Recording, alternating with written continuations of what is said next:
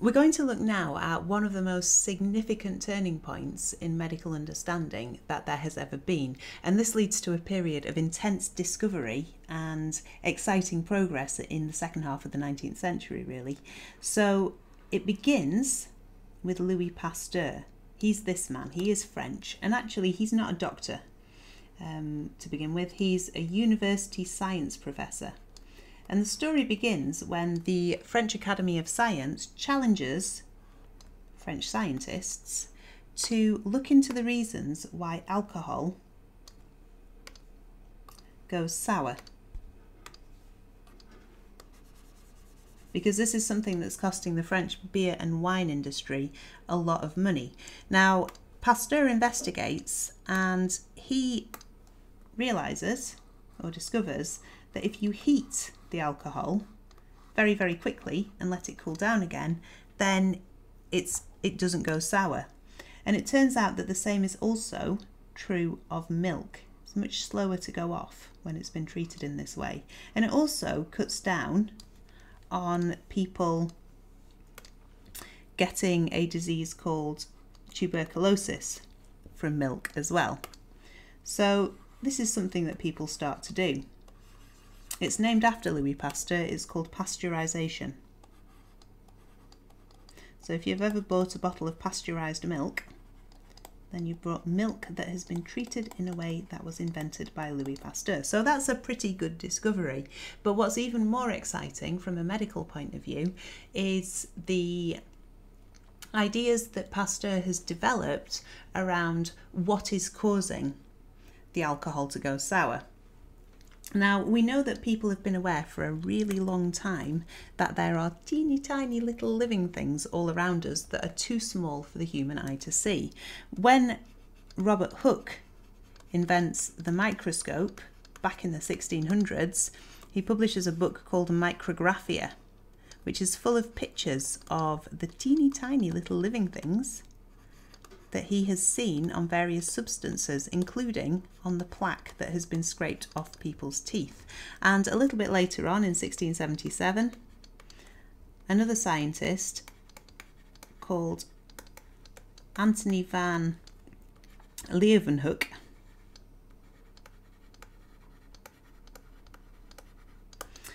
names these animalcules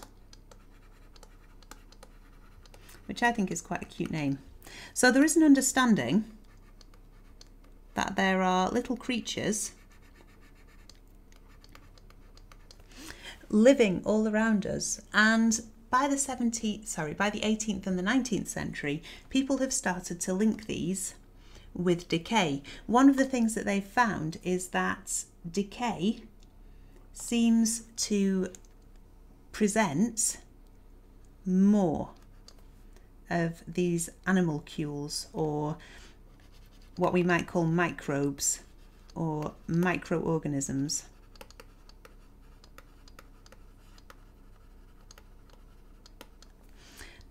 And they begin to come up with ideas about why there are so many of these teeny tiny little living things present when there is decay. Now, the most popular theory around this is called the spontaneous generation theory at the time.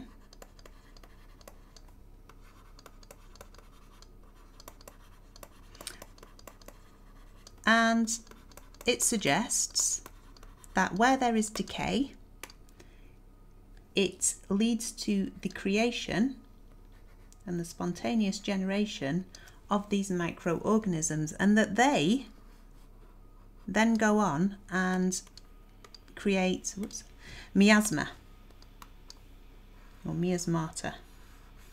So remember that miasmata are the bad smells that were thought to carry disease into the body through the nose. And this kind of makes sense because where you have things decaying, it's very smelly, and where people live near smelly, decaying things, they're more likely to get ill. So it's, it's kind of logical, really. However, in 1861, Pasteur publishes something that he calls his germ theory. And this really turns the idea of spontaneous generation on its head. Because Pasteur, first of all, suggests that these microbes and microorganisms live in the air.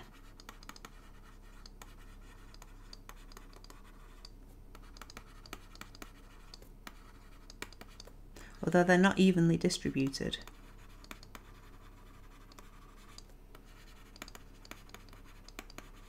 Secondly, that they can be destroyed by heat.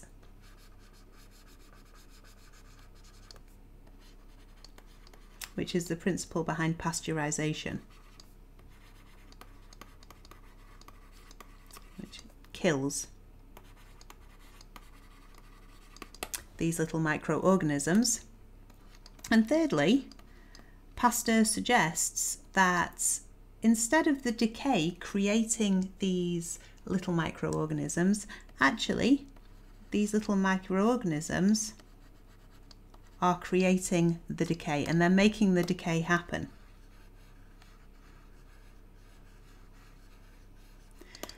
So this is a big departure. It really sort of takes spontaneous generation theory and turns it on its head.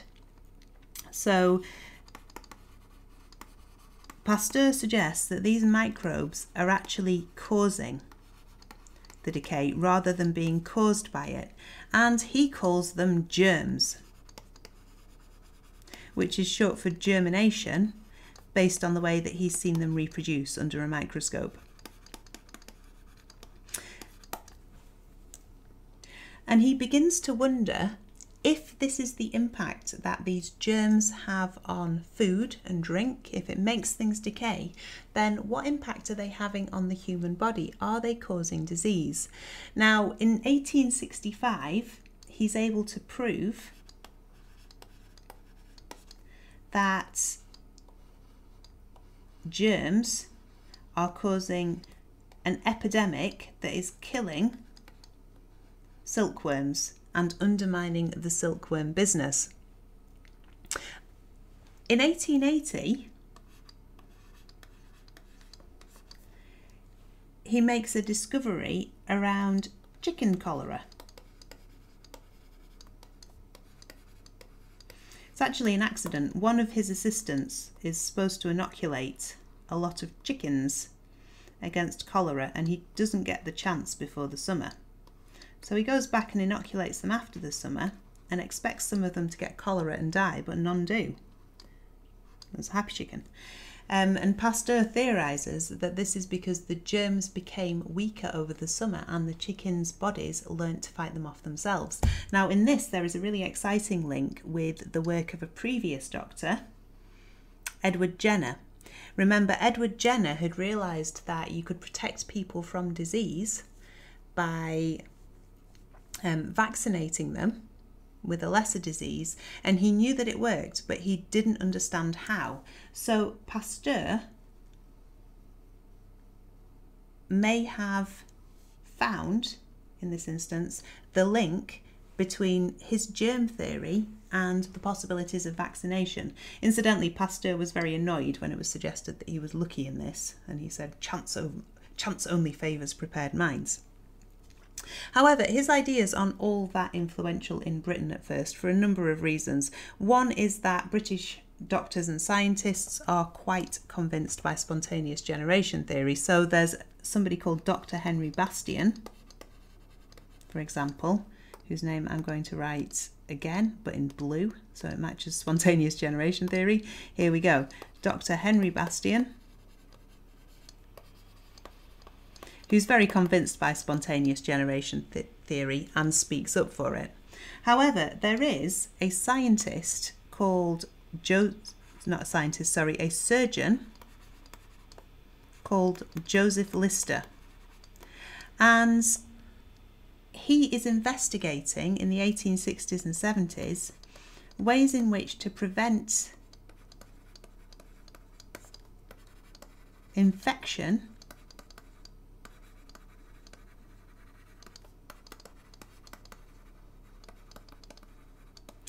in surgery patients.